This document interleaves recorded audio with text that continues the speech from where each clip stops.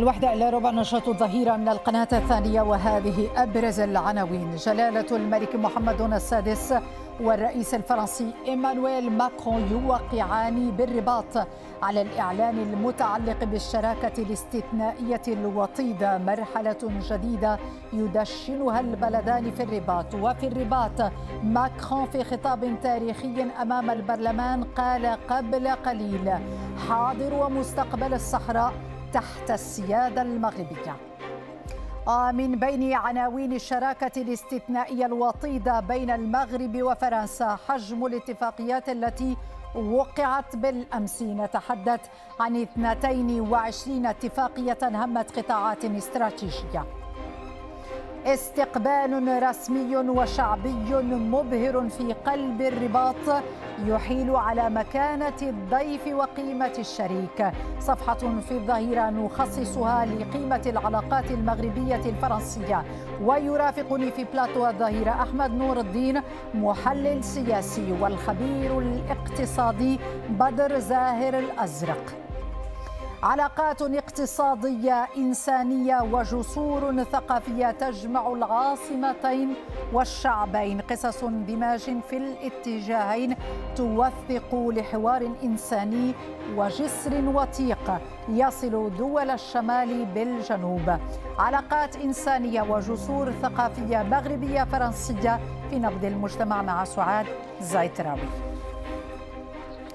أهلا بكم إلى تفاصيل الظهيرة. ترتقي اليوم إلى مكانة الشراكة الاستراتيجية الوطيدة. هي العلاقات المغربية الفرنسية كما يريدها جلالة الملك محمد السادس والرئيس الفرنسي إيمانويل ماكرون.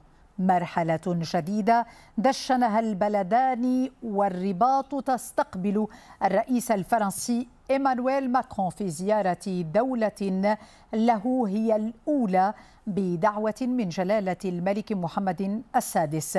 لقاء قمة عقد بالأمس في القصر الملكي بالرباط. اتفق فيه القائدان على تجديد دماء الشراكة الاستثنائية وتوطيدها وتمكينها من إطار استراتيجي شامل مستقر دائم ومتطور ومبتكر كشريكين استراتيجيين في جميع المجالات. مريم تارق شراكة استثنائية وطيدة بين المملكة المغربية والجمهورية الفرنسية تم التوقيع عليها في الرباط.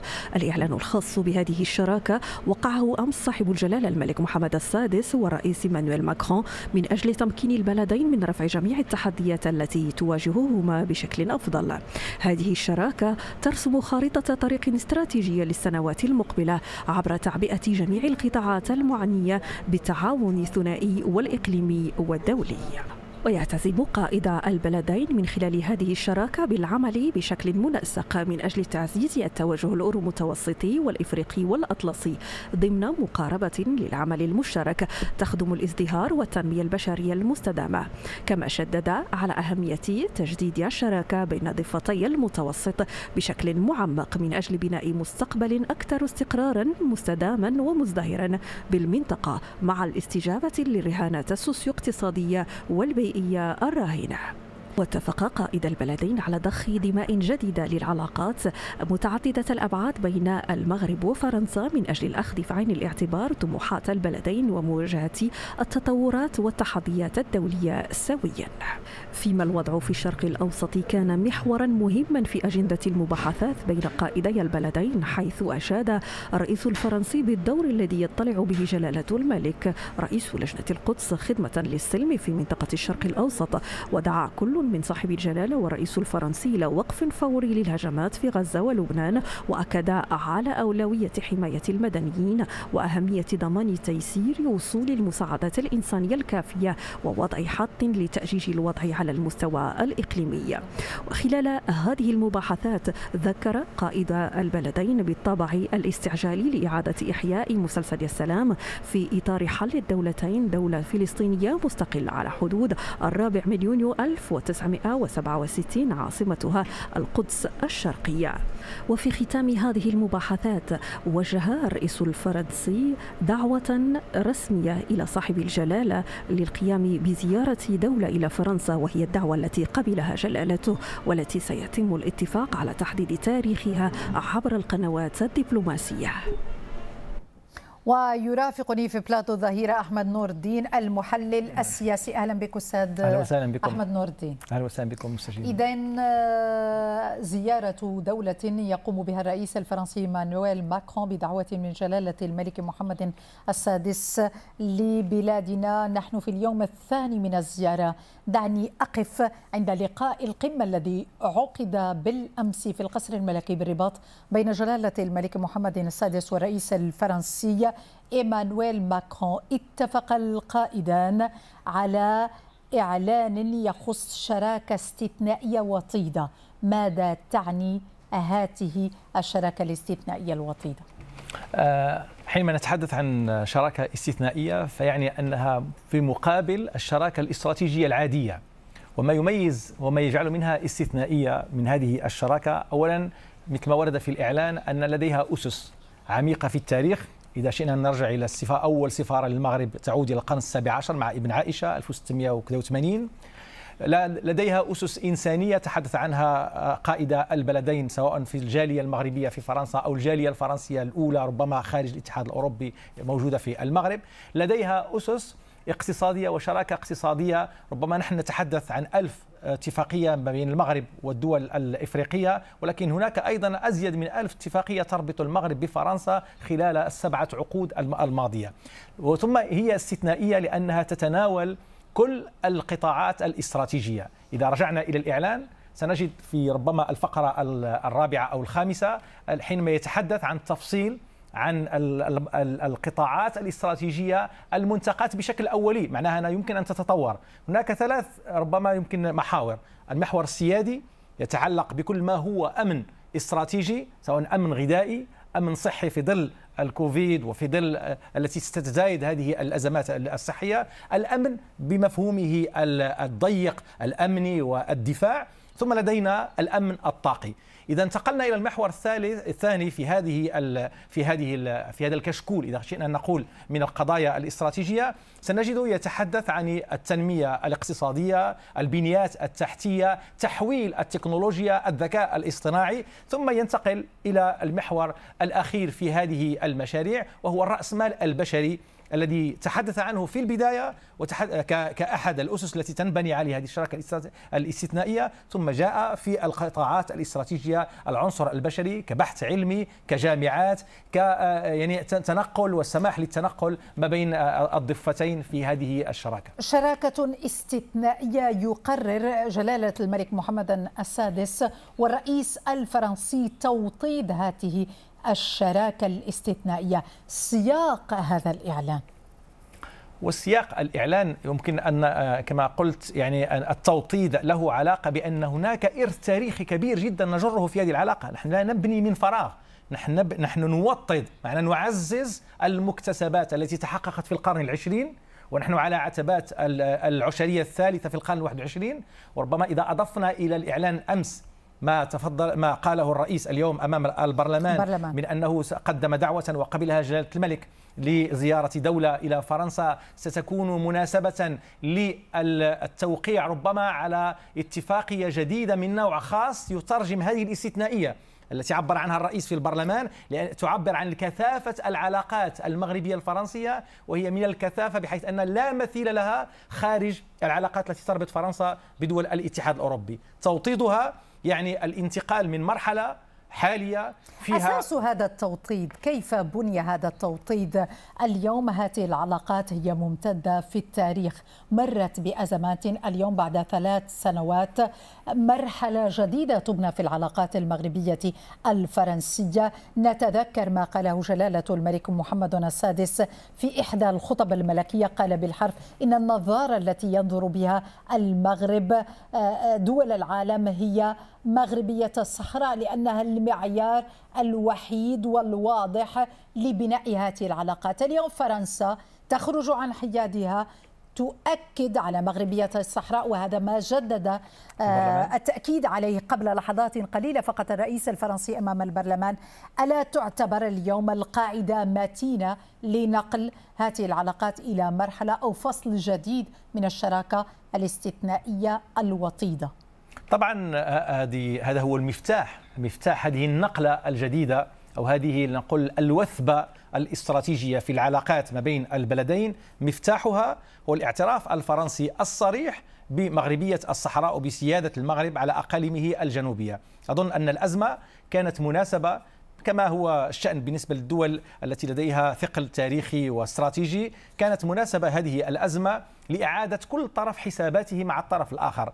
ويعني أخذ بعين الاعتبار ما سيفقده وما سيخسره وما سيربحه في في هذه الشراكة. وأظن أن القرار الفرنسي جاء بتمعن وبدراسات لأنهم أخذوا وقت تقريبا أربع سنوات يمكن أن نقول ليس فقط ثلاث سنوات منذ الاعتراف الأمريكي بالسيادة المغربية. فرضت فرض هذا المعطى على الدول الصديقة والحليفة للمغرب من خلال خطابات جلالة الملك الحاسمة والحازمة في أنه لن ليس مستعدا لإبرام أي شراكات استراتيجية. كانت واضحة هذه الجملة. أي شراكات استراتيجية مع دول لا تعترف بالسيادة الكاملة للمملكة المغربية على أقاليمها الجنوبية. هذا هو المفتاح. وإذا شئنا أن نقول اليوم جلالة الملك وبصم في الإعلان بصمته في الفقرة الأخيرة أظن الفقرة السابعة التي تحدثت بتفصيل عن يعني الاعتراف الفرنسي على لسان الرئيس الفرنسي بأنه لا أفق ولا تاريخ ولا حاضر للأقاليم الجنوبية. في الصحراء الغربية المغربية لأن الغربية توصيف جغرافي في مقابل الصحراء الشرقية المحتلة المقتطعة. إذا لا لا مستقبل لهذه الأقاليم خارج السيادة المغربية. هذا هو المفتاح وإن كان قد ختم به الإعلان إلا أنه هو البصمة وأظن أنه جلالة الملك بهذه الفقرة يعني أعطى أيضا ضمانات قانونية ودبلوماسية لأن الرسائل بين الرؤساء تبقى رسائل. أما الإعلان الموقع دبلوماسيا وفي بروتوكولات هناك اليوم إطار واضح إطار تبنى قانوني عليه. تبنى عليه وستكون له تبعات وآثار قانونية ودبلوماسية وسياسية إلى الأبد في هذه العلاقات الدبلوماسية وهنا الحكمة والعبقرية الملكية في في إدخال هذه الفقرة في هذه في هذا الإعلان سننتقل إلى شق آخر في هذه الشراكة الاستثنائية الوطيدة. أه، تترجم ربما هذا المفهوم وهذا الإطار الاستراتيجي. من بين عناوين الشراكة الاستثنائية الوطيدة بين المغرب وفرنسا حجم الاتفاقيات التي وقعت أمس في الرباط تحت أنظار جلالة الملك محمد السادس والرئيس الفرنسي إيمانويل ماكرون. نتحدث عن 22 اتفاقية همت قطاعات استراتيجية تبدأ بالتعليم مرورا بالمجال الطاقي والسكك وصولا إلى الشق الثقافي. جاد أبردان يعود إلى تفاصيل الاتفاقيات الموقعة أمس بالقصر الملكي بالرباط. شراكة استراتيجية مستدامة ومربحة للطرفين.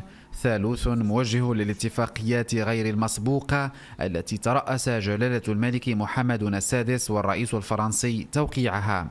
اثنتان وعشرون اتفاقية في مجالات عدة. أربع اتفاقيات منها تهم القطاع السككي مسار للقطار فائق السرعة.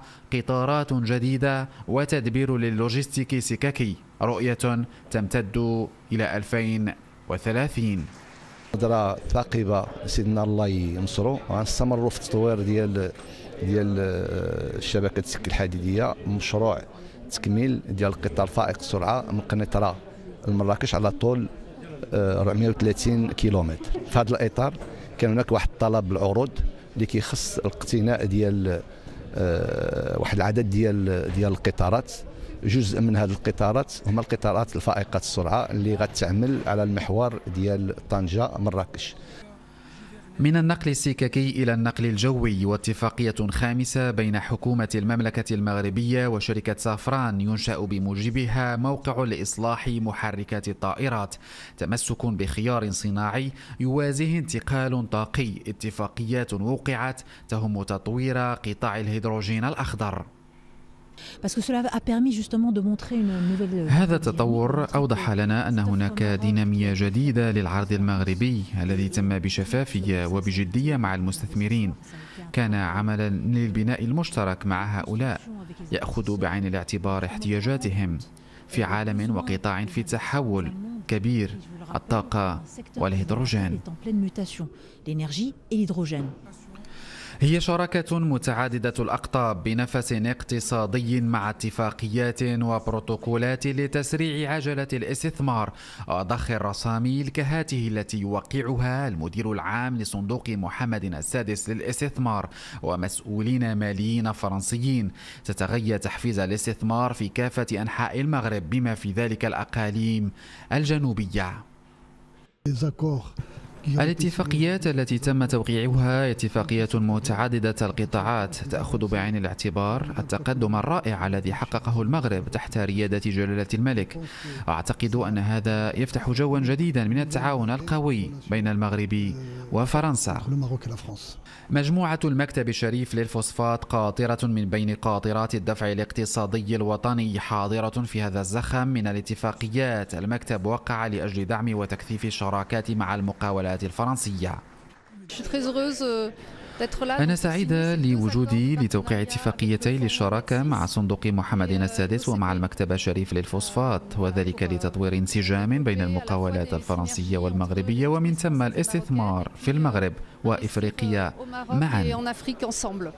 الذهب الأزرق أضحى أولوية وطنية فكان أن وقعت اتفاقية بخصوص الاستراتيجية الوطنية للمياه. اتفاقيات أخريات ترتبط بالمجالين الفلاح والغباوي أشير عليها.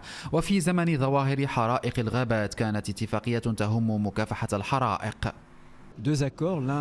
وقعت اتفاقيتين. الأولى اتفاقية إطار للتعامل مع الكوارث الطبيعية التي يعتزم بلدان مواجهتها. اتفاقية أخرى أكثر خصوصية تتعلق بالتقنية الموجهة للحرائق الضخمة حرائق الغابات بآليات جوية كالطائرات. مجالات أخرى نالت نصيبا من التوقيعات أمام أنظار جلالة الملك محمد السادس الذي كان مرفوقا بصاحب السمو الملكي ولي العهد الأمير مولاي الحسن وصاحب السمو الملكي الأمير مولاي رشيد وصاحبة السمو الملكي الأميرة للا خديجة وصاحبة السمو الملكي الأميرة للا مريم. مجالات تتعلق بالتعاون في مجال التربية والتعليم العالي والبحث والابتكار والصناعة الثقافية والإبداعية. في مجال ألعاب الفيديو. حضر هذا الحفل على الخصوص. رئيس الحكومة عزيز أخنوش ومستشار صاحب الجلالة فؤاد علي الهمة. وعدد من أعضاء الحكومة وأعضاء الوفد المرافق للرئيس الفرنسي وعدد من كبار الشخصيات. لا تقف فقط عند الشق الاقتصادي أو التعليمي بل تمتد إلى شراكة ببعد ثقافي. اتفاقية وقعت أمس في القصر الملكي في الرباط بين وزيرة الثقافة الفرنسية رشيدة ذاتي ونظيرها المغربي محمد مهدي بن سعيد وزير الشباب والثقافة والتواصل لتعزيز التعاون الثقافي والفني في ستة مجالات. نستمع إلى رشيدة ذاتي وزيرة الثقافة الفرنسية. جميع المهن المرتبطة بالثقافة. سنجري تبادلات حقيقية بين فرنسا والمغرب في مهن الفن السينما التراث ولا سيما مع المعهد الوطني لعلوم الآثار والتراث. ستكون هذه الشراكة قوية وسنقوم بالطبع بتنفيذها. وقعنا هذه الاتفاقيات وبدأنا بالفعل في تنفيذها. وأنا فخورة جدا مع نظيري بأننا نستطيع إنشاء سينما في الداخلة المتضمنة في هذه الاتفاقية. في الداخل الدخل والعيون سنعمل بوضوح على تطوير جانب ثقافي قوي في هذه المنطقة وهذه الأقاليم.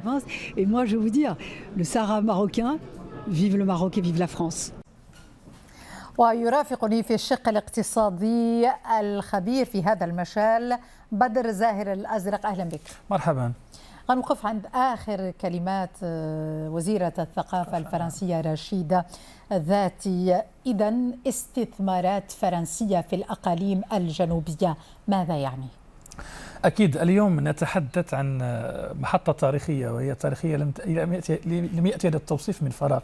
إن اليوم نحن بصدد قطيعة بين نموذج التعاون المغربي الفرنسي قبل زيارة ماكرون الحالية وبعدها. فرنسا انضبطت لقواعد اللعبة. اليوم الصحراء بعيون فرنسا هي صحراء مغربية والنموذج النموذج الأوحد من أجل حل هذا النزاع المفتعل في الصحراء المغربية هو نموذج الحكم الذاتي الذي سبق للمملكة المغربية أن اقترحت. إذا هذه القطيعة الأولى. القطيعة الثانية هي حتى على مستوى التعاون الاقتصادي الذي لم يكن يشمل الأقاليم الجنوبية للمملكة المغربية.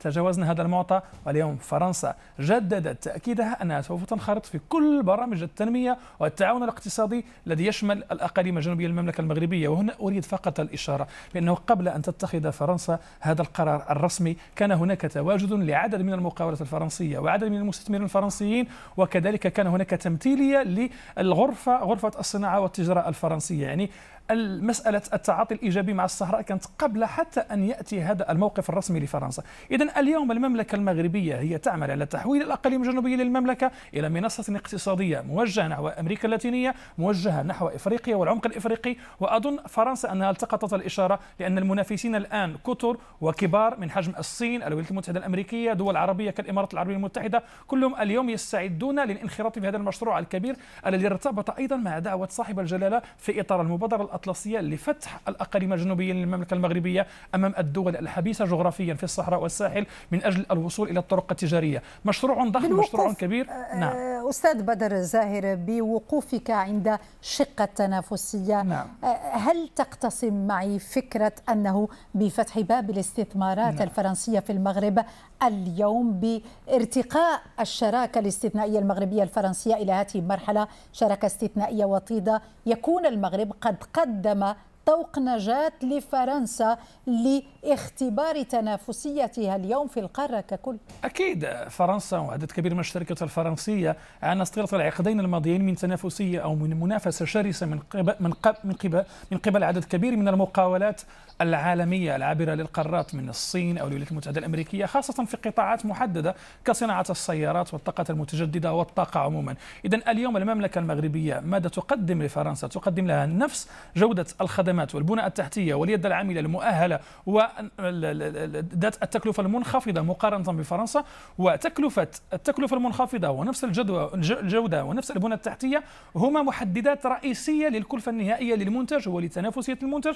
في الأسواق العالمية. الاستثمار؟ نتحدث. نتحدث عن استقرار عن أمن تقدمه اليوم المملكة المغربية للمستثمر الأجنبي. بطبيعة الحال لأن هذه الامتيازات هي مقدمة لفرنسا وغير فرنسا ولكن اليوم بعد هذه الاتفاقية التي ارتقت بالتعاون بين المغرب وفرنسا إلى مرحلة استثنائية ستكون فرنسا أيضا متفردة في التعاطي وفي الشراكه مع المملكة المغربية. نفس الشيء بالنسبة للمغرب الذي أريد فقط أن أشير أن اليوم لا نتحدث عن تدفقات استثمارية أيضا فقط في اتجاه المملكة المغربية بل أيضا هناك تدفقات استثمارية مغربية في اتجاه فرنسا. هناك أكثر من ملياري دولار من استثمارات مغربية اليوم في فرنسا. هناك أكثر من مليون ونصف المغربي مقيمون في فرنسا بينهم 45 ألف طالب. طالب. نعم باحثون أطباء دكاترة مهندسون قوة عاملة لدى فرنسا. عاملة يعني أحد أحد أحد عوامل قوة المحرك الاقتصادي الفرنسي أيضا. وأنت تسرد هذه المعطيات نعم. أستاذ بدر زاهر.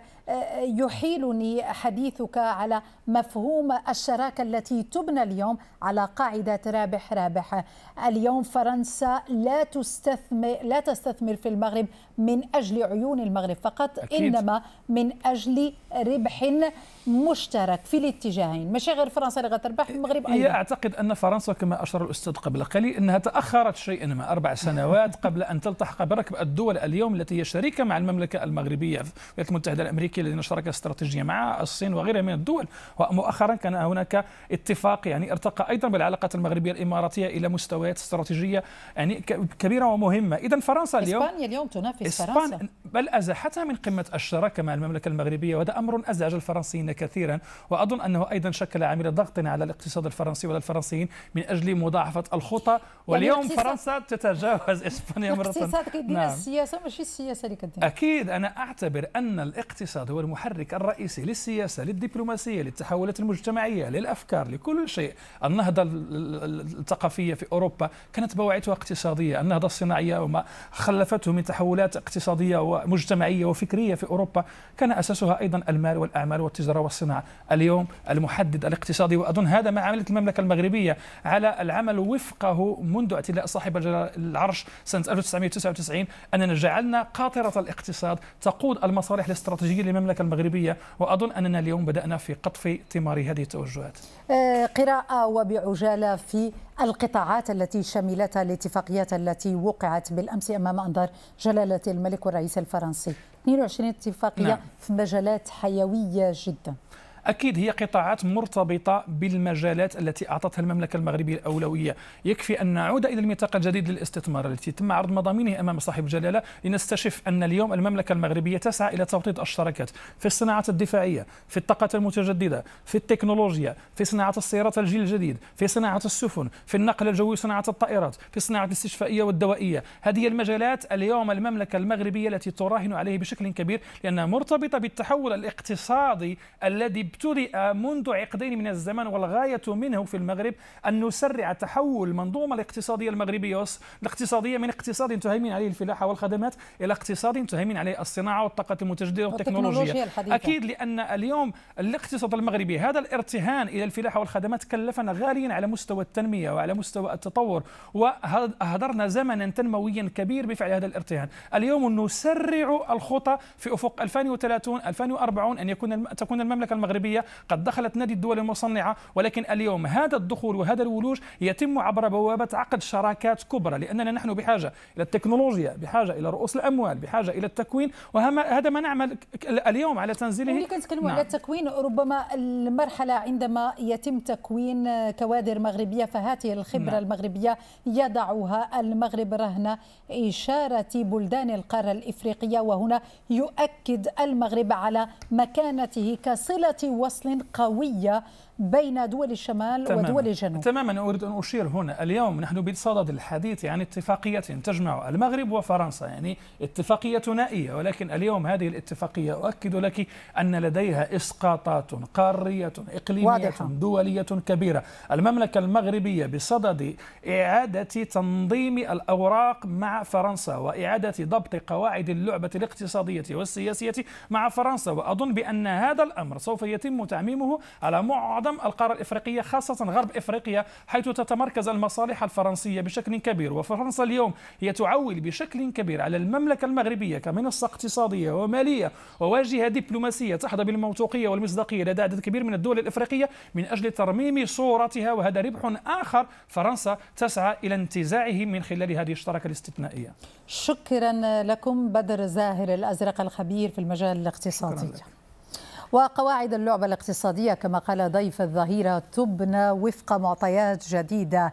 على رأس هذه المعطيات تأتي أولوية الأولويات طبعا مغربية الصحراء والموقف جدده اليوم الرئيس الفرنسي إيمانويل ماكرون أمام ممثلي مجلسي النواب والمستشارين في خطاب تاريخي له. قال بالحرف الواحد الرئيس الفرنسي إيمانويل ماكرون حاضر ومستقبل الصحراء تحت السيادة المغربية. خلال العقود الماضية المغرب وفرنسا ظل حلفاء أوفياء رغم الأوقات العصيبة وفرنسا لم تتخلى يوما عن المواضيع الوجودية التي تهم المملكة المغربية. وهنا أشير إلى ملف الصحراء المغربية حيث أريد أن أتكلم باسم بلدي حين توجهت بخطاب هذا إلى جلالة الملك. أؤكد للمرة الثانية أنه بالنسبة لفرنسا فماضي وحاضر الصحراء ينطوي تحت وحدة التراب المغربي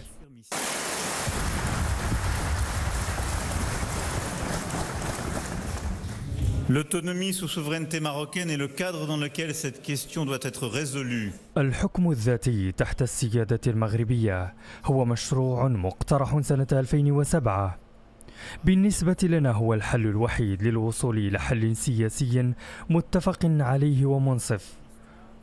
احتراما للقرارات والمواثيق الدولية لهيئة الأمم المتحدة. نتطلع لمستقبل واعد وأفضل لذلك فرنسا ستواكب هذا القرار بجانب المغرب في المحافل الدولية.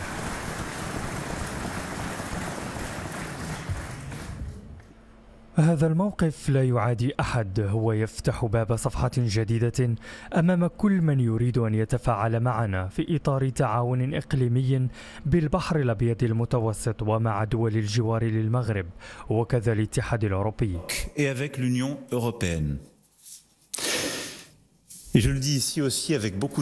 وأقولها اليوم بكل قوة شركاتنا ومقاولاتنا ستواكب التنمية التي تعرفها المنطقة بخلق استثمارات ومبادرات للتنمية المستدامة لصالح سكان الجهة.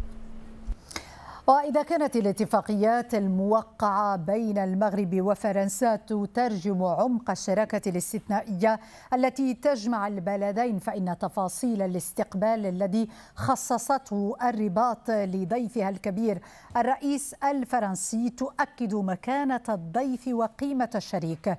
جلالة الملك محمد السادس رفقة ولي العهد صاحب السمو الملكي الأمير مولاي الحسن وصاحبة السمو الملكي الأميرة لالا خديجة وصاحب السمو الملكي الأمير مولاي رشيد وصاحبة السمو الملكي الأميرة لالا مريم. كانوا جميعا في استقبال إيمانويل ماكرون وحرمه بريجيت ماكرون.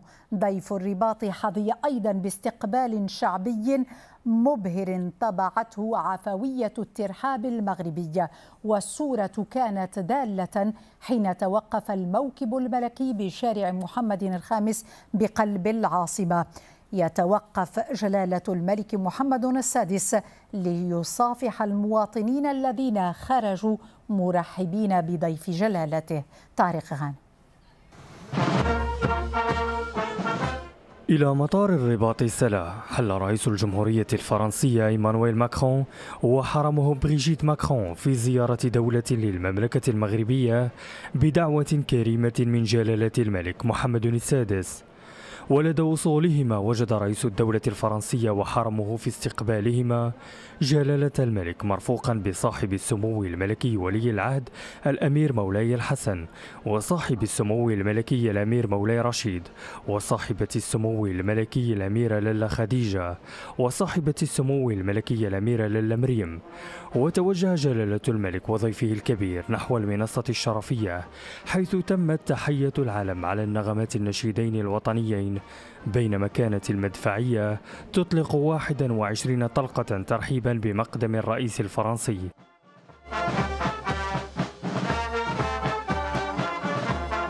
بعد ذلك استعرض جلالته والرئيس إيمانويل ماكرون تشكيلة من الحرس الملكي أدت التحية وبمدخل القاعة الملكية لمطار الرباط سلا قدم لرئيس الدولة الفرنسية التمر والحليب جريا على التقاليد المغربية الأصيلة.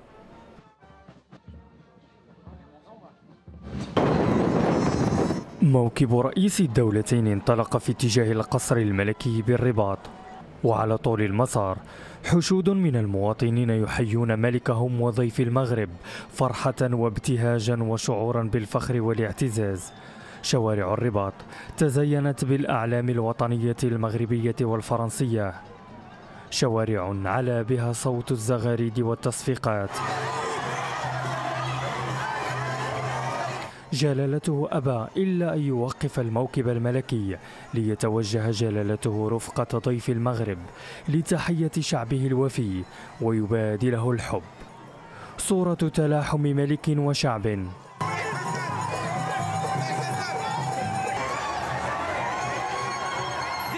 العفوية والتلقائية طبعت هذه المشاهد التاريخية.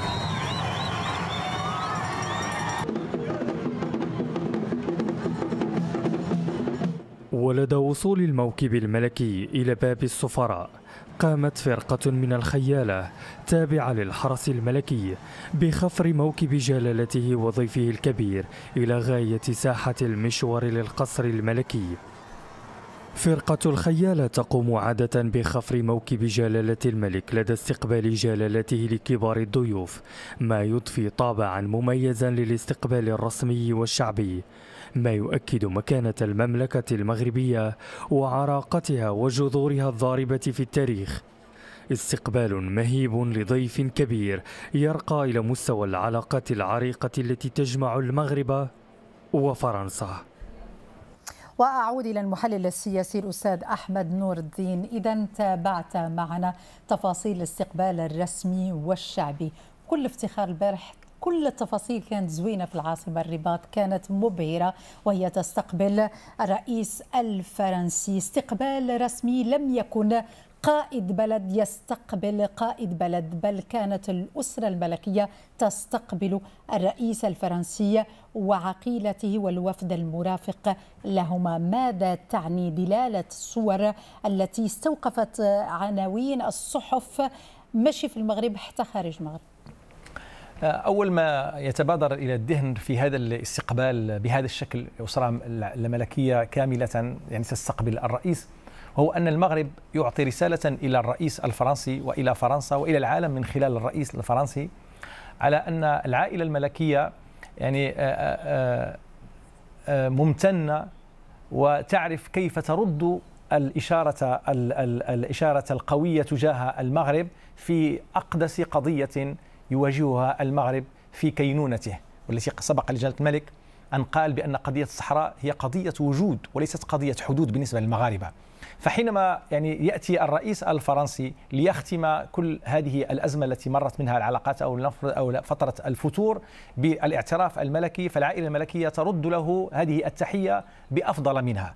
هذا على المستوى يعني نقول الاستراتيجي الجيوبوليتيكي. ولكن إذا شئنا أن نقول فالعائلة الملكية هي تجر وراءها إرثا. هي الآن ثاني أقدم عائلة ملكية على المستوى العالمي بعد الإمبراطورية اليابانية. هذا ما قاله بالحرف اليوم الرئيس الفرنسي أمام البرلمان. أمام البرلمان. وهذه هذه العراقة للعائلة الملكية التي أصبحت هي أيضا القليل ممن يتحدث على أنها هي التراث اللامادي الحقيقي للمغرب. هذه التقاليد الملكية وهذه الأسرة الضاربة في العمق بهذا العمق التاريخي هي الميراث أو هي التراث اللامادي الحقيقي لهذا لهذا البلد. فحينما تكون دولة بهذا الثقل التاريخي والحضاري طبيعي أن يكون حفاوة الاستقبال بضيوفها الكبار بطريقة غير معهودة وبطريقة التي تبهر ليس فقط المغاربة والفرنسيين وإنما تبهر العالم. ملامح الرئيس الفرنسي كانت تقول ما توقفت عنده وهو يتابع تفاصيل الاستقبال الشعبي الذي خص به جلالة الملك والشعب المغربي ضيف الرباط الكبير. الصورة كانت بالأمس دالة عند شارع محمد الخامس وقد التقطناها جميعا ونحن نتابع البث المباشر لاستقبال آه، شعبي كبير جدا. كل التفاصيل كانت مبهرة بالأمس في العاصمة الرباط. كانت الطقس كانت كانت لوحة بالأمس لوحة في الرباط. تماما لوحة فنية. نعم كانت لوحة فنية كما قلت لأنه حتى إذا تحدثنا عن العائلة الملكية وأنها تعرف كيف تشكر من يحترم أقدس مقدسات المغاربة بعد الملك بعد يعني لدينا ثلاث مقدسات الله الوطن الملك. فالعائلة الملكية عرفت كيف تكون ممتنة لمن يعترف للمغرب بشرعيته التاريخية. وخاصة أن فرنسا لها تاريخ طويل هي وإسبانيا تعرف تفاصيل مغربية الصحراء وما فوق الصحراء. حتى الشعب المغربي نفس الشيء. المغاربة الذين يحركهم اليوم ربما يمكن أن نتحدث عن ثلاث أشياء أو نضيف رابعة. التي هي أيضا فيها وهي الكرة خارج هي الرابعة. أما الثلاثة الأخرى فهو الدين الذي نراه في مظاهر رمضان في مظاهر التدين لدى المغاربة والمرتبط بإمارة المؤمنين أيضا. ثم لدينا الوطن كل ما يمس الوطن يجعل المغاربة يتحركون على قلب رجل واحد والملكية، وبالتالي المغاربة أيضا هذا هذا الخروج بهذا بهذا الزخم تعبير للمغاربة على أنهم يقدرون الاعتراف الفرنسي بمغربية الصحراء. شكرا لكم أستاذ أحمد نور الدين المحلل السياسي. شكرا لكم. وعلى منصة إكس غرد الرئيس الفرنسي إيمانويل ماكرون غرد وباللغة العربية فقال هذا اليوم في الرباط نفتح فصلا جديدا في العلاقات بين المغرب وفرنسا من أجل الأجيال القادمة.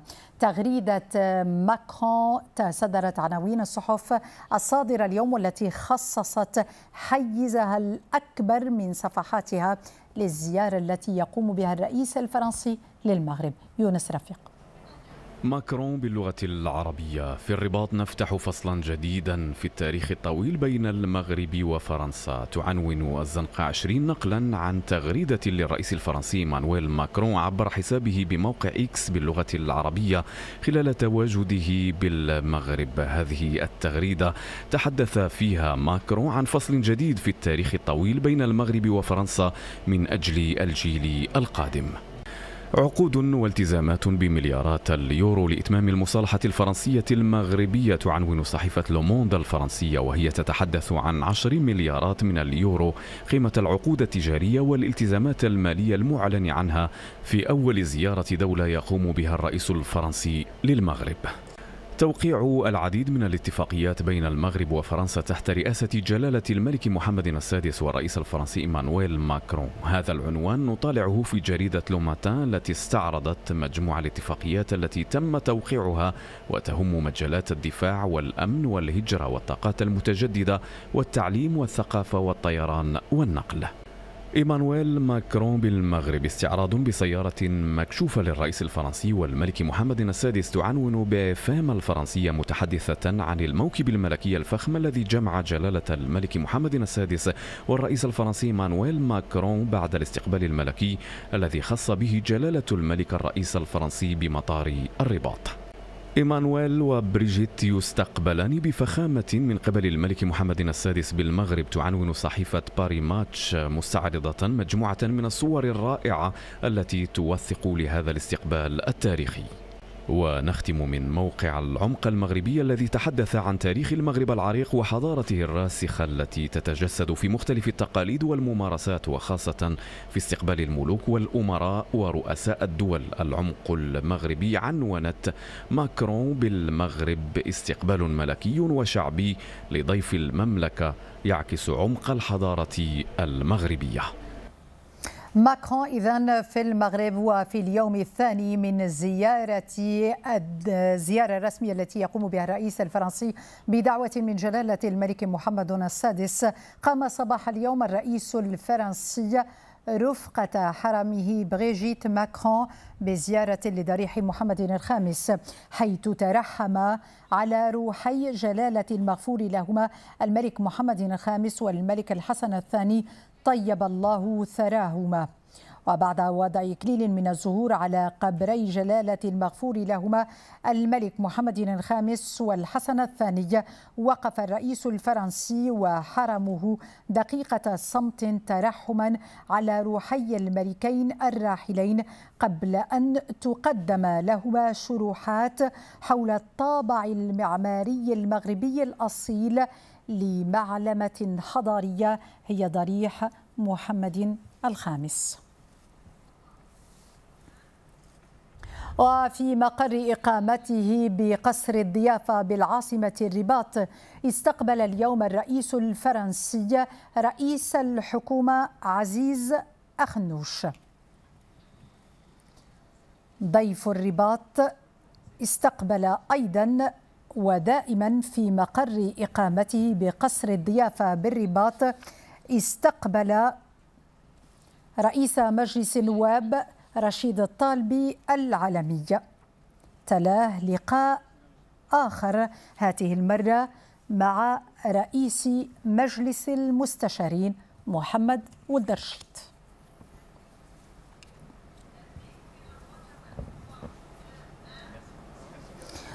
وبين المغرب وفرنسا علاقات إنسانية قوية تترجمها قصص الاندماج الناجح لمغاربة فرنسا على رأسهم الطلبة.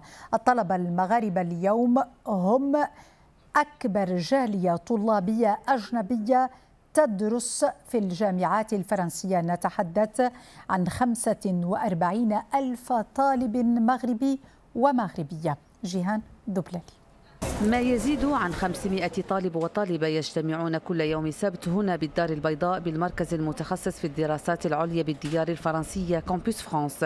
يتقاسمون نفس الطموح من ضمن هؤلاء سلمى 16 سنة وهي تلميذة بالبكالوريا.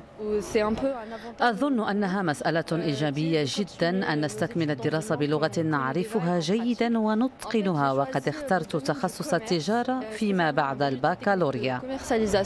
بالمركز ورشات لتأطير التلاميذ في اختياراتهم الدراسية بفرنسا. لهذا المركز دور مهم جدا لأننا نعمل على مضاعفة حظوظ التلاميذ في اختياراتهم بفرنسا بالموازاة مع دراستهم هنا. عبد الحميد الدامية من كامبوس فرانس بالدار البيضاء حقق الطموح وهو الآن يدرس بأعرق المدارس الفرنسية المتخصصة في الهندسة ورحلة طموحه لم تتوقف لأنه يسعى للأفضل. لدي رغبة كبيرة في العودة إلى بلدي يوما ما بعدما أحصل على التجربة الكافية هنا. بالمدرسة المركزية بباريس l'École Centrale طالب مغربي من ضمن عشرة وبالتالي فإن الطلبة المغاربة يتصدرون قائمة الطلبة الأجانب والرقم يشير هنا إلى أزيد من 43360 طالب مغربي السنة الماضية. هنا بالوكالة الوطنية الفرنسية بباريس طاقم متخصص في تأطير هؤلاء الطلبة. هذه السنة أضفنا 2% من تأشيرات الطلبة للعدد المعتاد الذي يلتحق سنويا والطلبة المغاربة دائما مرحب بهم هنا لأنهم يحققون النجاح. هي علاقات وطيدة بين البلدين ومتجدرة ويكفي أن نشير إلى تواجد أزيد من مليون ونصف المليون مغربي بالديار الفرنسية. إليان برادي واحد من هؤلاء يحضر للثاني ماستر له في العلوم السياسية وهو من القائمين على مجموعة بالإنترنت للطلبة المغاربة بفرنسا. بالإضافة إلى الجانب الثقافي والدبلوماسي والسياسي وكذا الاقتصادي فكرنا في وضع إطار معين يضم هذه الكفاءات من خلال مجموعة عبر الإنترنت مهم جدا أن نقدر نحن الجيل الجديد هذه الروابط بين فرنسا والمغرب. وفي دراسة أنجزها طلبة المدارس والمعاهد العليا بفرنسا فإن 61% من الطلبة المغاربة يرغبون في العودة مباشرة إلى المغرب بعد استكمال مسارهم الدراسي. فيما الجزء الآخر يرغب في أخذ الخبرة والتجربة لسوق الشغل الفرنسية قبل العودة إلى الوطن. وروبورتاج في فرنسا لسليمة بن عبو. أما في المغرب 53 ألف فرنسي يعيشون بيننا. ففي المغرب تتواجد أكبر جالية فرنسية في القارة الإفريقية. خلف هذا العدد قصص دماج ناجحة هذه المرة في الاتجاه الآخر تحكي عن حوار إنساني وجسر ثقافي يصل الشمال بالجنوب على أرض مضيافة. الروبورتاج لحسن بالرابح هذا صباح في الدار البيضاء. لا هو ولا هي خطط لأن يكون شريك العمر من جنسية مختلفة. كيفن الفرنسي وسلمى المغربية. كان لقاؤهما الأول بقاعة الرياضة بمدينة الدار البيضاء. هناك تأججت مشاعر الحب بينهما وترجمت إلى علاقة زوجية منذ ثلاث سنوات. شغفهما بالرياضة تحول إلى استثمار من خلال مشروع خاص بهما في نفس المجال. هو اختيار وقدر. عندما أتيت هنا إلى المغرب كنت أشتغل والتقيت بزوجتي في مقر العمل بإحدى القاعات الرياضية.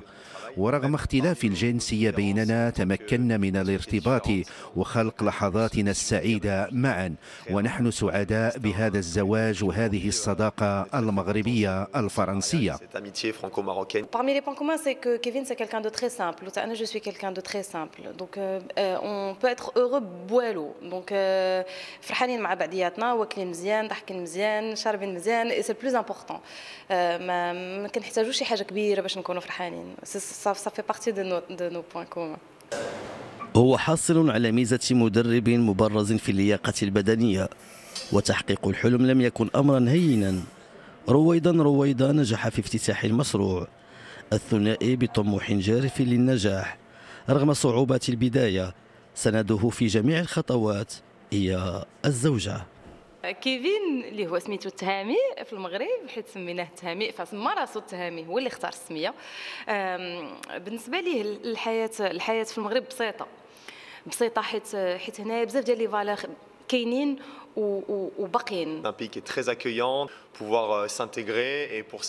إنه بلد مضياف يرحب بك هنا بكل دفء.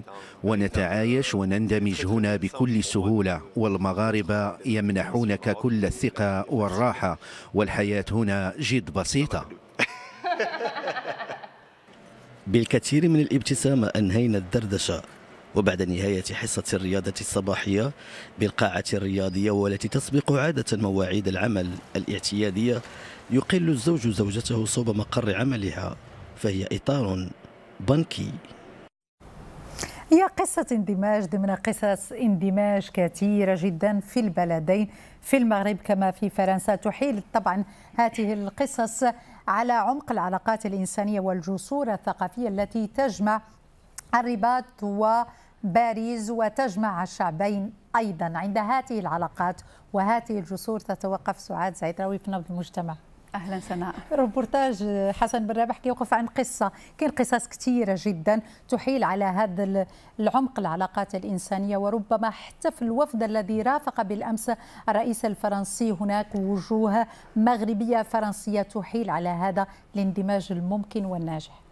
صحيح سناء هذا الاندماج الإنساني الثقافي أبدا لا يغيب ونحن نتحدث عن علاقة المغرب بفرنسا. الشراكة التاريخية والصداقة التي تربط المغرب وفرنسا تتعدى السياسي والاقتصادي ومجالات أخرى حيوية لتمتد إلى الإنساني والثقافي. تأثيرات إنسانية واجتماعية هي بمثابة العمود الفقري للعلاقات بين الدولتين. كل ما نقوم به مع المغرب تاريخي لأن الإنسانية حاضرة في علاقاتنا. الكلام كان بالقصر الملكي بالرباط يوم أمس على لسان وزيرة الثقافة الفرنسية رشيدة داتي وهي من أصل مغربي. حقيقة الكلام يختصر كل شيء. فمن جملة الاتفاقيات التي وقعت كانت اتفاقيات تعاون بين وزارتي الثقافة المغربية والفرنسية ركزت على الصناعات الإبداعية المرتبطة بالثقافة والسينما والفنون والتراث حتى يبقى جسر الانفتاح بين البلدين قائما ينهل من تنوع وغنى الثقافتين لخدمة الأجيال القادمة. وكان الاتفاق على التعاون الثنائي على مستوى منظمة اليونسكو لمحاربة السطو على التراث الثقافي. بين وزارتي الثقافة اهتمام خاص بمواصلة دعم التعاون المتميز في مجال الروابط الإنسانية والرأسمال البشري. ولعل رمزية تدشين المسرح الكبير بالعاصمة الرباط في هذه الزيارة أكبر دليل على هذا الاهتمام بالمشترك الثقافي. هذا المشترك يجسده أيضا المنتوج الثقافي الناطق باللغة الفرنسية من أدب وشعر ورواية يفرض نفسه في هذه العلاقات بحيث هناك أسماء روائية مغربية تغذي مخيال اللغة الفرنسية. بالمقابل هناك أقلام أخرى فرنسية كبيرة ظل المغرب جزء من هويتها المتعددة. قبل قليل وفي كلمته بالبرلمان جاء على لسان رئيس الجمهورية الفرنسية إيمانويل ماكرون. اسم الكاتب الطاهر بن جلون وعبد اللطيف اللعبي وليلى سليماني وعالم الاجتماع الفرنسي جاك بيرك. وهي أسماء غذت المخيلة المشتركة بأقلامها وإبداعاتها. هذا المشترك الثقافي تجسده أيضا رمزية الحضور الوازن لأسماء ثقافية كبرى رافقت الرئيس الفرنسي إيمانويل ماكرون. ويبقى التعاون الثقافي مع الدولة الصديقة فرنسا جزءا ضمن كل وقائد البلدين يعيان تماما بعد تجسير العلاقات الثقافية لأن الثقافة تمنح مناعة فعالة لتقوية العلاقات. والثقافة هو ذاك الجسر السلس الذي يربط الشعبين وكما قلت سعاد كانت هناك أسماء وازنة تحيل على هذه الرمزية. كانت ضمنهم ليلى سليمانية إلى جانب وجوه في المجال الرياضي اليوم هناك تقريبا أزيد من 53 ألف فرنسي يقيمون في المغرب. اختاروا المغرب للعيش بيننا وهناك طلبة مغاربة يدرسون هناك. نتكلموا على مليون ونص ديال المغاربة في فرنسا. صحيح سناء فرنسا تعتبر المغاربة المقيمين بين ظهرانيها جزءا من تطورها الاجتماعي والاقتصادي. تضم فرنسا أكبر عدد من مغاربة العالم حوالي مليون و150 ألف مغربي يعيشون في فرنسا. والمغاربة في صدارة الحاصلين على الإقامة الفرنسية للعام الثالث على التوالي حسب بيانات حديثة للمرصد الفرنسي للهجرة والديموغرافيا حيث بلغ عدد الحاصلين على الإقامة من المواطنين المغاربة أكثر من 36 ألف شخص.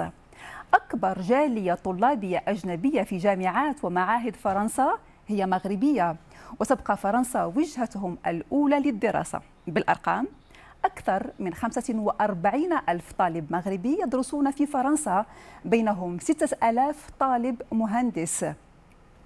وليس عدد الطلبة المغاربة بفرنسا وحده المهم بل ما يسجله الطلبة من مستويات عالية من التفوق في كبريات المعاهد والمدارس. بالمقابل هنا في المغرب وحسب المعطيات الرسمية أكبر جالية أجنبية هي الجالية الفرنسية. إذ يبلغ عدد الفرنسيين بالمغرب قرابة 54 ألف مواطن فرنسي. نصف العدد يحملون الجنسيتين الفرنسية والمغربية.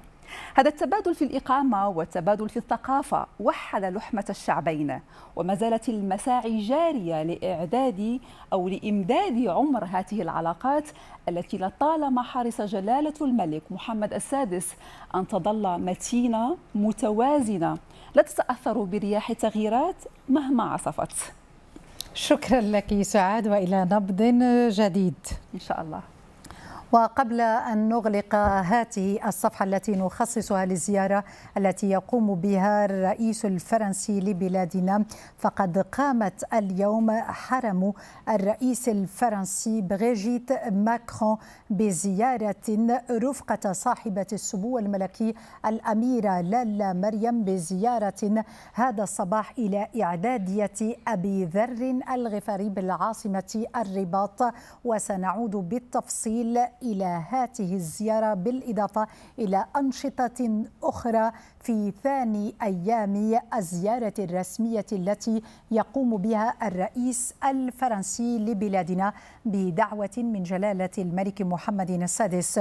وبهذا نغلق الملف الذي خصصناه بالكامل لهذه الزيارة. ومن المنتظر أن يخصص جلالة الملك محمد السادس حفل عشاء على شرف ضيفه الرئيس الفرنسي وعقيلة بريجيت ماكرون. والوفد المرافق للرئيس هذا المساء في موضوع آخر تحذر مديرية الأرصاد الجوية من استمرار الأجواء الماطرة. تمطر في العديد من المناطق ببلادنا وكمية الأمطار المتراكمة في تحذير مديرية الأرصاد الجوية أمطار قوية أحيانا رعدية مصحوبة بهبات الرياح والبرد المعروف بالتبروري منتظرة اليوم وكمية التساقطات المطرية ستتراوح ما بين 40 إلى 70 ملم والمناطق المعنية هي طنجة أصيلة فحص أنجرة وزان شفشاون تمارة صخيرات سلا الرباط سيدي قاسم قنيطرة برشيد سيدي بنور الدار البيضاء بن سليمان المحمدية النواصر الجديدة مديونة وآسفي. مديرية الأرصاد الجوية تتوقع أيضا انخفاضا في درجات الحرارة. درجات الحرارة قد تصل في بعض المناطق إلى ما دون الصفر بثلاث درجات. المناطق المعنية هي بولمان أزيلة البنيملة الحوز تنغير ميدلت إفران ثم ورزازات تمطر. إذا ولله الحمد في العديد من المناطق ببلادنا وكمية التساقطات المطرية المتراكمة خلال ال 24 ساعة الماضية بلغت في طنجة أزيد من 100 ملم ثلوج أيضا في بعض المرتفعات 30 سنتيمترا في قمم أزلال تفسر هذا الانخفاض المنتظر في درجات الحرارة. جليلة بن فتح هي أمطار خريفية رعدية قوية إلى معتدلة سجلت بعديد مدن المملكة خلال يوم أمس إلى حدود هذا الصباح وتوزعت حسب المديرية العامة للأرصاد الجوية طنجة أصيلة 100 ملم المضيق الفنيدق 84 ملم تطوان 79 ملم ميدلز 64 ملم فيما سجلت 40 ملم بأزلال و38 ملم بالرشيدية وبني ملال 36 ملم أما تنغير 35 35 ملم فيما سجل بالجديدة 31 ملم في المقابل همت تساقطات ثلجية مهمة خلال يوم أمس إلى حدود هذا الصباح العديد من المناطق خاصة الجبلية حيث سجلت بالظلال ثلوج بلغت 20 سنتيمترا في السفح و30 سنتيمترا في القمة. في حين شهد إقليم بني ملال تساقط ثلوج بلغت 30.5 سنتيمترا في السفح و35 سنتيمترا في القمة.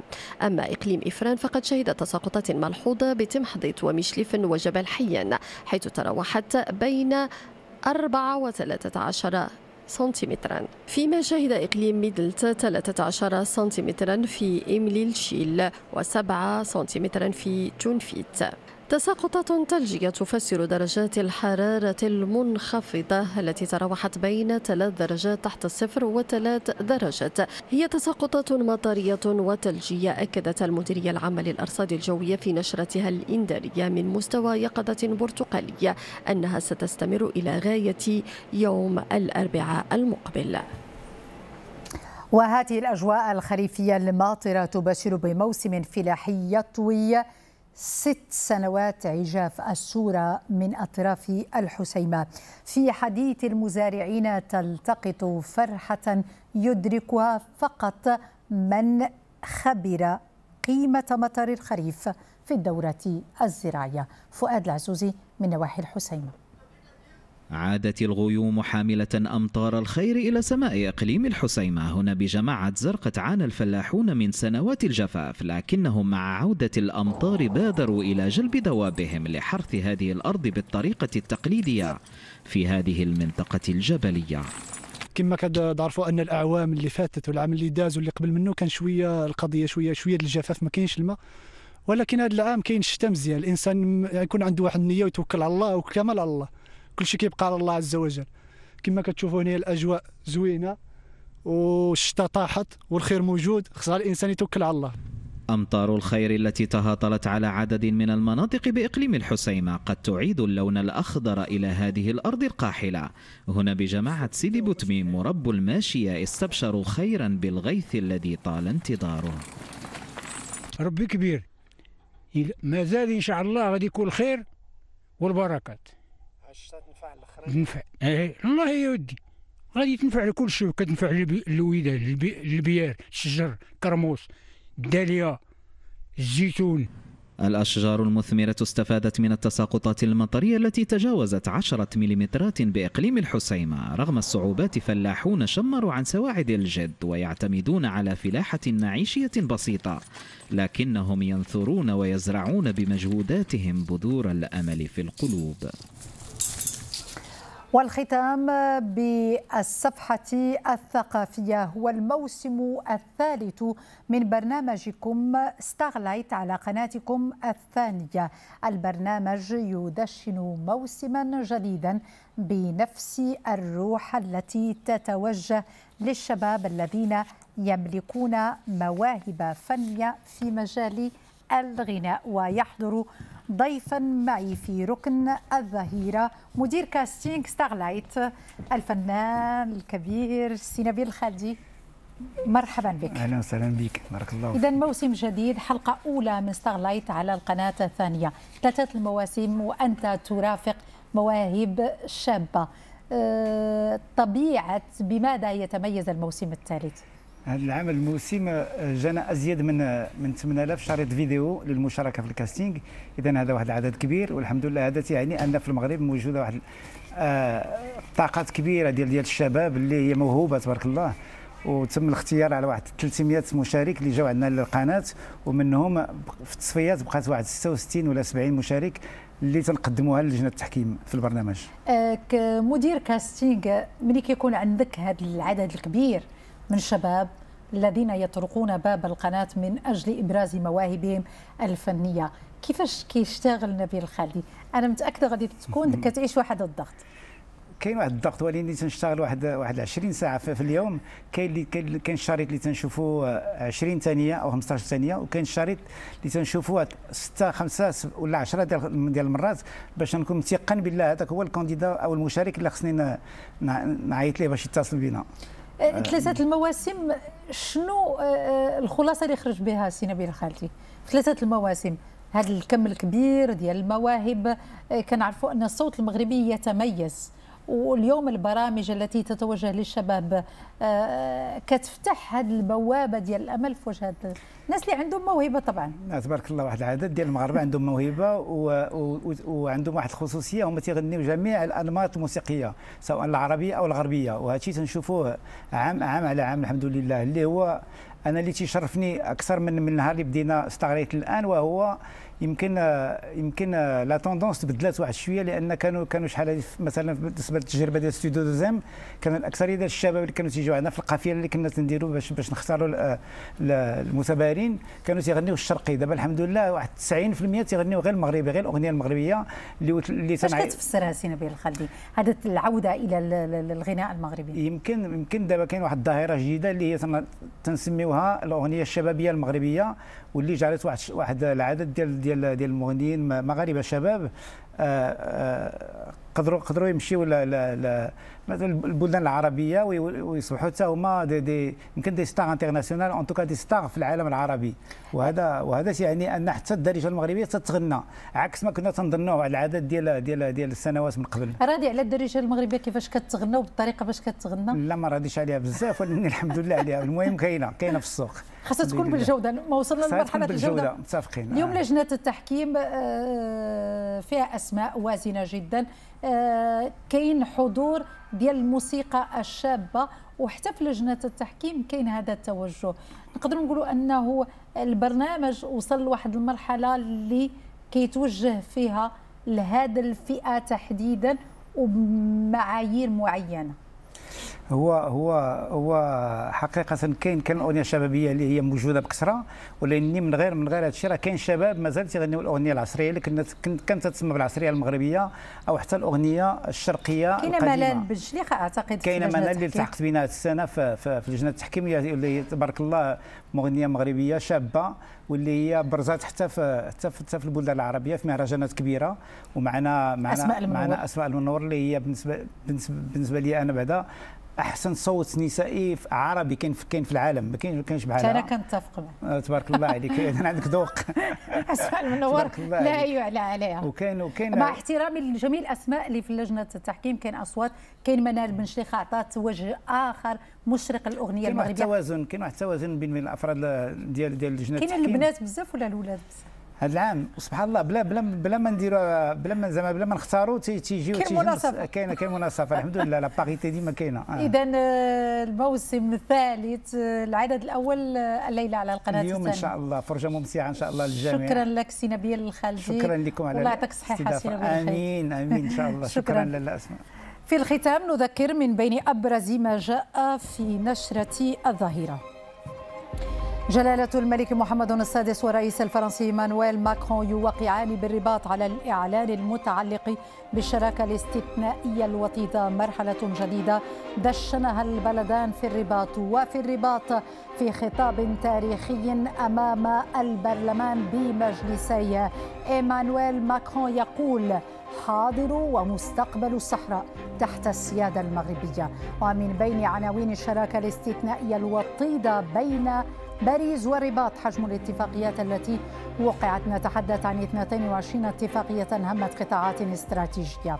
استقبال رسمي وشعبي مبهر في قلب الرباط والتي حل بها الرئيس الفرنسي وعقيلة بريجيت ماكرون في زيارة دولة هي الأولى له بدعوة من جلالة الملك محمد السادس تستمر لثلاثة أيام.